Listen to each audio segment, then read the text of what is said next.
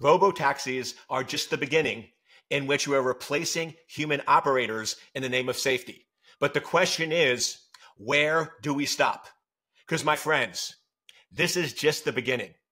If they can go in and now have computers running cars with back end intelligence and artificial intelligence in the name of safety, and humans no longer have to be in the driver's seat, or if they're in the driver's seat, they're reading, taking a nap, doing videos, or doing other things.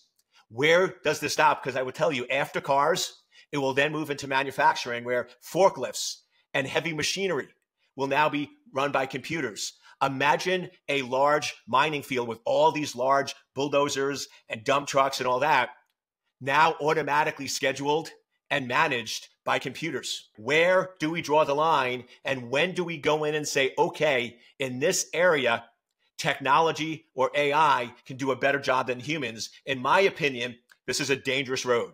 To me, AI is not a replacement for humans, it's an augmentation. So to me, we should be using AI to make better drivers and better operators to make us more advanced. It shouldn't be replacing us.